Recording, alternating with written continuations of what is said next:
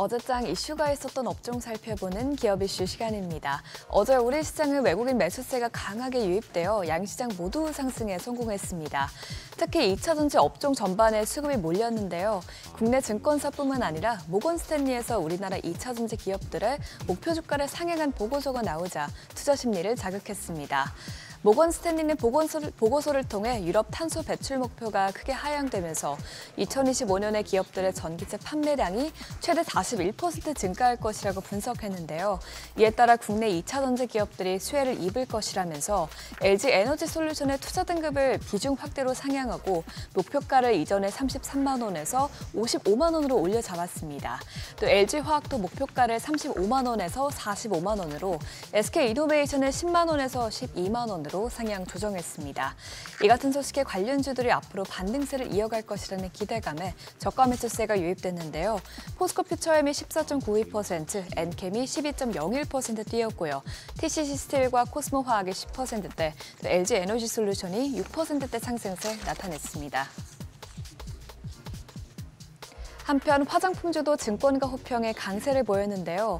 증권가에서는 최근 조정을 겪은 화장품주를 저가 매수할 기회라고 분석했습니다. 하나증권은 화장품 업종이 올해 2분기 실적 발표 기간 전후로 고점 대비 23% 하락해 valuation이 매력적인 수준까지 도달했다고 밝혔습니다. 그러면서 온라인뿐만 아니라 국내 브랜드의 미국 오프라인 진출이 활발하게 이루어지는 등 K뷰티의 비중국 수요는 확대되고 있다고 설명했습니다. 또 신한투자증권은 미국을 포함해 직수출 증가에 대한 개별 기업의 실적 성장은 3분기부터가 본격 시작이라면서 상당수 화장품사가 최근 주가 조정으로 valuation 매력이 다시 부각돼 9월에서 10월 중 저가 매수 기회를 얻을 수 있을 것이라고 전망했습니다. 이 같은 기대감에 관련주들이 뛰어올랐는데요. 한국 화장품 제조가 21.57% 오르면서 신고가를 경신했고요. 코리아나도 12.13% 급등했습니다. 이어서 제닉이 10%대, 또 삐아 삐아와 코스메카 코리아가 6%대 오름세 나타냈습니다. 한국정보통신기술협회가 이동통신망을 이용해 배송 로봇, 자율주행 셔틀 등을 원격 주행시키기 위한 관제 시스템의 연내 표준화를 추진한다는 소식에 자율주행주가 들썩였습니다. 자율주행 기술에 대한 관심은 높아지고 있지만 안전성 문제는 아직 해결되지 않고 있는데요. 이에 따라 협회는 자율주행이 어려운 상황이 됐을 때 원격으로 차량을 제어할 수 있는 기술이 주목받고 있다면서 표준화 추진 배경을 설명했습니다. 원격 주행이란 원격 주행 관제 시스템이 하나 이상의 원격 주행 대상 차량들을 이동통신망을 이용하여 주행시키는 서비스인데요.